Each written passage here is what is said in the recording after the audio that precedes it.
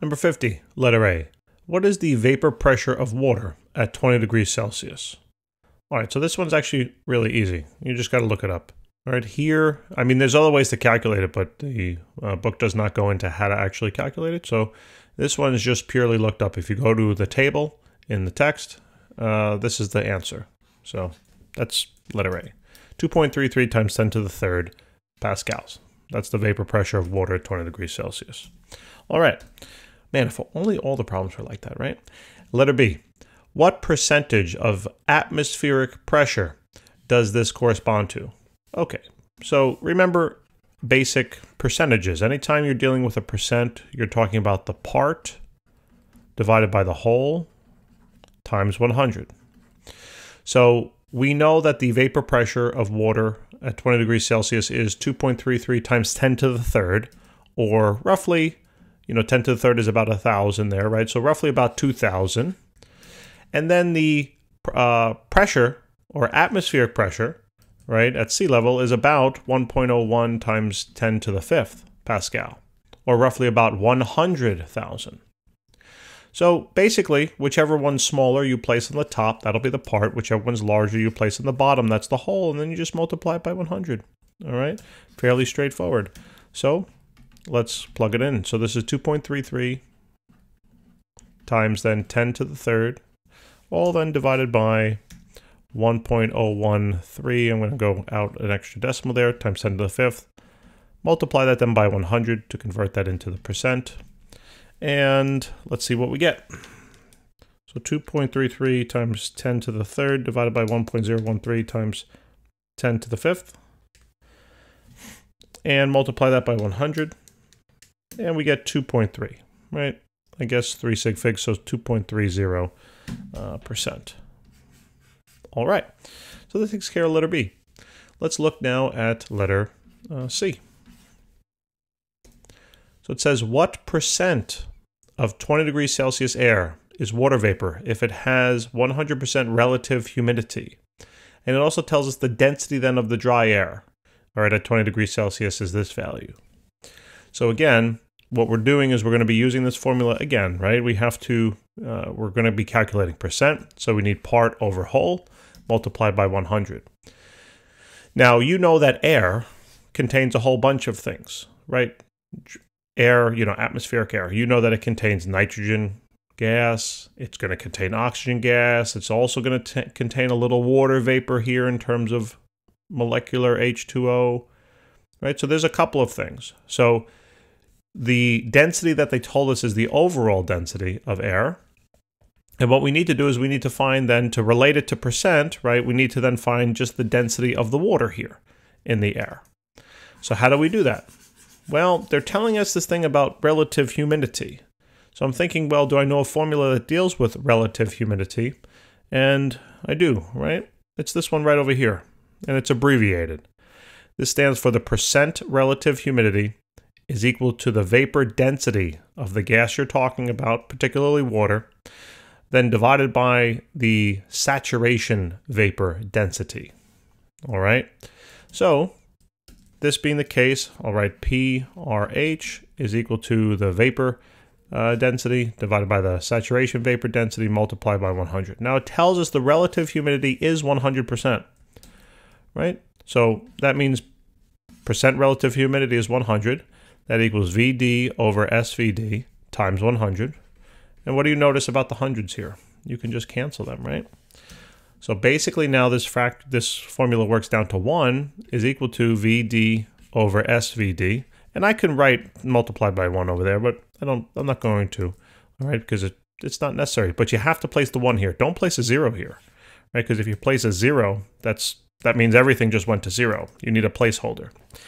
So um, now what I realize is that I can simply do a cross multiplication here, right? I can bring the SVD, the saturation vapor density out of the, the denominator on the right, bring it up into the numerator on the left.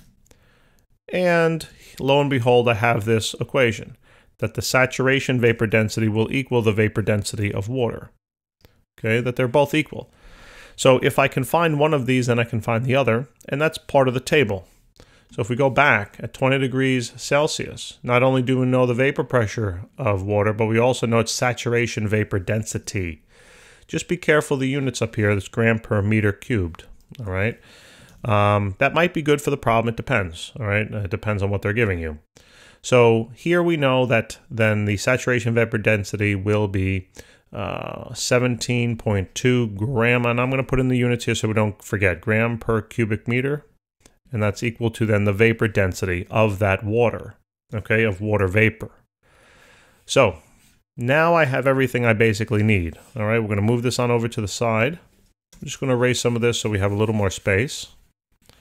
And now we just need to calculate the percent, okay? So here, percent again is going to be equal part over whole times 100. We basically found the part, all right? That's what we were looking for, okay? So now what I would recommend here is whenever you're calculating percent, you have to make sure that these units are the same. Percents are unit less, and therefore the units will cancel. So in order for the units to cancel, whatever the units are for the part will have to be the same as the whole. So if we analyze it a little bit, here they give us kilogram per cubic meter, and this is gram per cubic meter. So they are not the same. No big deal, that just means we have to do a conversion. Now, it does not matter which one you convert. If you converted this to gram, that would be fine and wonderful. If you converted this to kilogram, that would be fine and wonderful. All right, it does not matter, we're going to arrive at the same answer. I'm going to decide to convert this into kilogram. All right, so we have 17.2 grams per cubic meter, and I need to get rid of the gram, so the gram goes on the bottom. I know the relationship to kilograms, so I can put that on the top, and there's a thousand grams to one kilogram.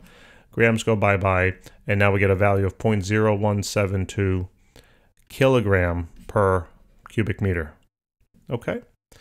And now this should kind of make sense. If you now compare the numbers, look at how much smaller this number is, this density is, than compared to the overall density of air. If you remember the picture I drew before, I was mentioning and even if you remember some of the percents before, right, we said that air, uh, atmospheric air, is about 78% nitrogen gas. It's about 21% then uh, oxygen gas. And there's a couple other trace, you know, a couple other trace uh, molecules here. And one of the trace ones, a really, really small one, all right, less than 1% basically, or, or so, or right around 1%, is going to be water vapor. Okay, so I'll write really small H2O. So what we would expect is that per unit volume here, per this, just pretend that, you know, this circle encapsulates a volume, all right? It's a three-dimensional sphere. Per this volume, there should be a certain mass of nitrogen, oxygen, and water, right? And I know that the nitrogen is different than the oxygen, and the oxygen is different than the water and such, but uh, although that's the case, this is such an overwhelmingly large percent that we know most of the mass okay, of the air is going to be uh, nitrogen. Then the runner-up is going to be oxygen. And then after that, probably the water. All right, probably water vapor. So look at the numbers here. You got, you're comparing about two hundredths, okay, two hundredths roughly, to 1.2. Okay, so let's see how much larger one is than the other. I mean, we might already have a feeling of it's going to be quite small, quite a small percent, but why don't we see? So we're going to have 0.0172, all divided then by 1.20 times 100. And here we go. So we have 0.0172 divided by 1.2. And we get, and then multiply that by 100, and we're going to have about 1.43. 1.43. All right, that's percent. Very, very small percent. Like I was mentioning, somewhere around one. I, you know, usually, I mean, uh, the percent relative humidity fluctuates of the air, but normally it's not always at 100%, right? It's less than that. Okay, it definitely depends if it's summertime or wintertime. You know, the percent relative humidity changes, right? As the seasons change, warmer temperatures holds actually more water vapor, colder temperatures, there's less water vapor, all right, in the air. Um, yeah, any case, that takes care of this. Guys, hopefully this helps. Please help us out and subscribe, tell your friends, and we'll see you next time. Thank you.